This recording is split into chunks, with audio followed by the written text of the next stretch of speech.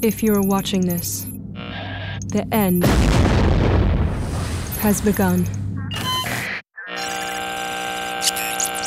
Infantry Strategy Declassified Brief. Executing proper infantry strategy is crucial to your troops' survival in battle.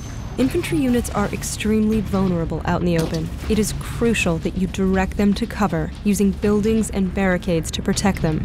These tactics will not only protect your troops, but also improve their combat effectiveness. Infantry units in cover can shoot farther and inflict more damage. And engineers in cover become predators for gunships and armored vehicles. Infantry units are also able to set traps and ambushes for oncoming enemy troops. Watch out though, cover can be destroyed by firepower, so keep your infantry mobile. Don't forget to use transports to move your infantry units quickly from point to point, as well as to avoid getting trapped in the open.